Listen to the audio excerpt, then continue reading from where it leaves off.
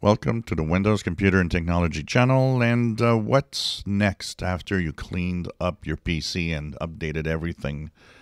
Well, it will be to, of course, install your favorite software that you use. But keep it to a minimum. Do not install anything that you never use. Do not install any cleaners. You don't need cleaners. You don't need CCleaner. It's useless what it does, and most of the time people think that, oh, wow, it does a great job at cleaning. It doesn't clean anything. It removes files, temporary files. It barely scratches the surface of removing things in the registry because the registry you cannot do major changes or you'll be bogged down. It's so minimal what it does that it does nothing. And Windows does not need cleaners, optimizers of any kind. Actually, people that have those are the ones that need a tech guy more often, are the ones that have more problems than everybody else, are the ones that have Windows updates that always crash and never have, you know, never work. These are the people that are in most of the problems.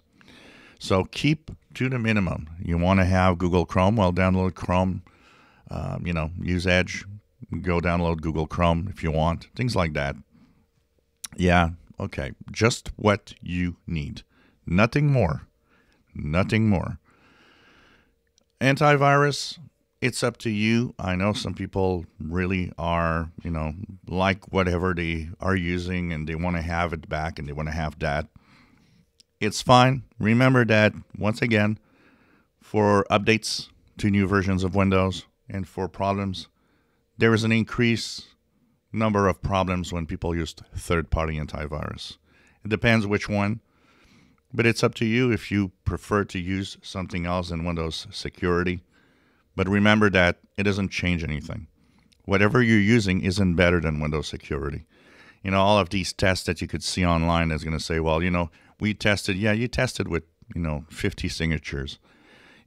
The majority of new viruses today are going to go through every antivirus that you have without being detected. A lot of them just go through. That's why it's common sense that is important with updates, not the antivirus. Too many of them are just going through without you, um, you know, the antivirus reacting to it. Plus, there's all sorts of mitigation that goes through. You know, Google Chrome and the browsers today sandbox everything. So what's within the browser often cannot really get outside of it if it's up to date also. That's why update, update, update. Update the browser, update Windows, that is really the security with you just using common sense, which is what most people actually do. A big, big chunk of people are using the Windows Security app. Fine. Never have viruses. Why? Because they just use the common sense. Don't click on everything they see. Don't go download illegal files. And just do not click on uh, any of the links or attachments in emails that they have no idea what it is. Simple rules that keep you safe. As long as Windows is updated, your browser is updated, the antivirus does nothing. It doesn't, you know, you would you could run Windows without an antivirus and not have any viruses.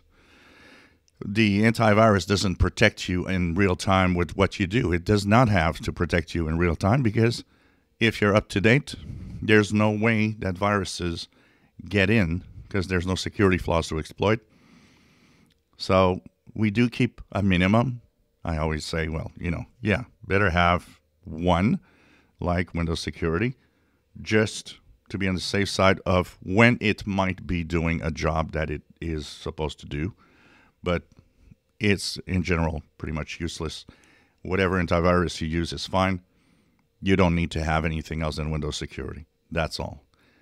Just keep your software to a minimum. No optimizers, no cleaners, and just make sure that you install just what you need and use on your PC. If you enjoy my videos, please subscribe, give us thumbs up. Thank you for watching.